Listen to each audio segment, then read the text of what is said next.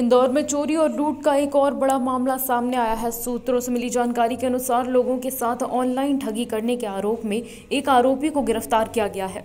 आरोपी के खिलाफ पंद्रह से अधिक शिकायत दर्ज थी।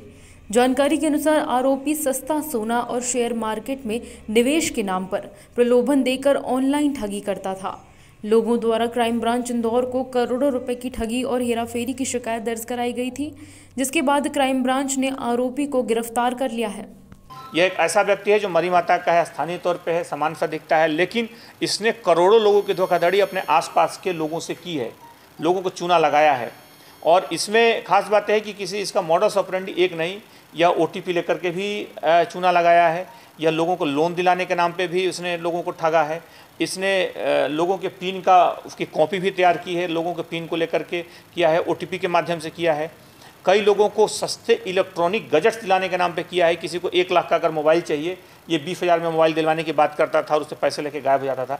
इस तरह की इसने कई दर्जन वारदातें की हैं।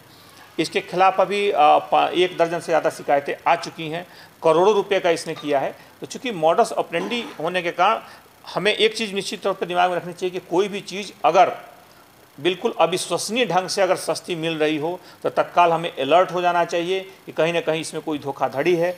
ये व्यक्ति, जो हितेश नाम का व्यक्ति है, यही मरी माता का रहने वाला है।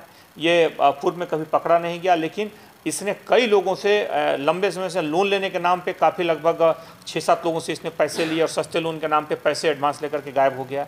फिर कई लोगों से इसने सस्ते इलेक्ट्रॉनिक गजट लेने के नाम पर इसने कई लोगों से लगभग आधा दर्जन लोगों से इसने लेकर के और उसके बाद बिना पैसा पैसा लेकर के उसके बाद गायब हो गया बिना सामान दिए। तो यानी कि इसके अगर हम देखें तो घर के आसपास हमेशा आपको 10-15 लोग घूमते हुए मिल जाएँगे, घर में रहता नहीं था। क्योंकि बहुत बड़ी संख्या में इसके अलावा ओटीपी से जो जो मोबाइल के ओटीपी का जो फ्रॉड होता है, उसने ये भी किया।